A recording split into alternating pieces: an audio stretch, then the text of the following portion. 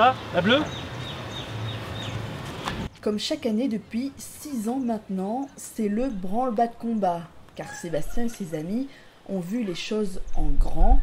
200 dallons sont attendus ici à l'Ermitage pour le 31 décembre. Alors c'est toute une organisation, un mois de préparation, d'imagination et de création. On va construire un, énorme bar, même un double bar.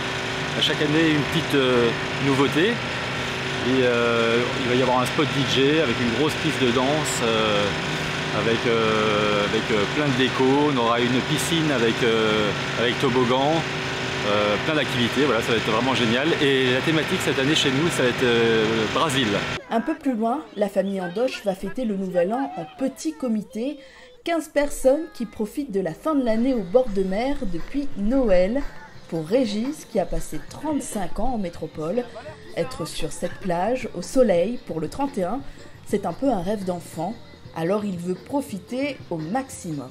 On va essayer de, faire péter les champagnes déjà et souhaiter euh, cette euh, très bonne année qui s'est euh, pour nous bien passée. Et voilà. Il y aura quoi au repas par exemple? Ah, Au repas, on, se demande ce qu'on va faire au repas. On va essayer de faire quelque chose de, bon. Vous avez toujours pas Non, c'est pas toujours pas. On fait toujours les choses le jour le jour, on voit ce qu'on peut faire. Emmanuel, lui, a tout prévu. Samedi soir, ça sera sauté de mine et rôti de porc. Ce repas sur la plage, il l'attend toute l'année.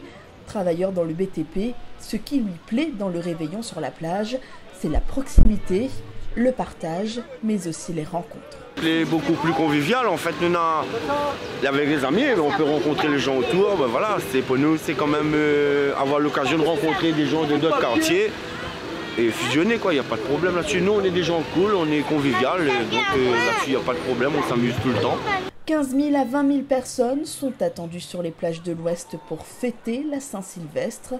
Pour Emmanuel, le ton est déjà donné, la fin de l'année se finira forcément en farniente. Bonne et heureuse année 2017 à tout le monde.